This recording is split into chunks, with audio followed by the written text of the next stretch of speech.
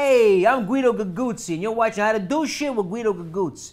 Today I'm going to show you how to take a proper nap. With me, I got my wife's brother, John Castellotieri, who's going to help me show you how to do what I just said. Thanks, Gigi. Step one, clear your head. We're going for a dreamless sleep here. That reminds me, I had a dream about your sister yesterday. After Wait, you, my sister? yeah. Then you're gonna want to put your Wait, what do you mean up. dream? What kind of dream? A sex dream. That's my sister we're fucking talking about. You're having sex with my sister in reality. But that's my wife. I got a fucking contract with the priest.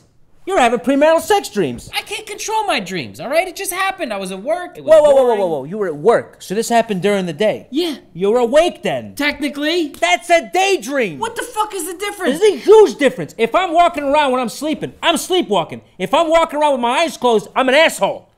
Are you calling me an asshole? I would never dream of calling you an asshole. but would you daydream it? yeah,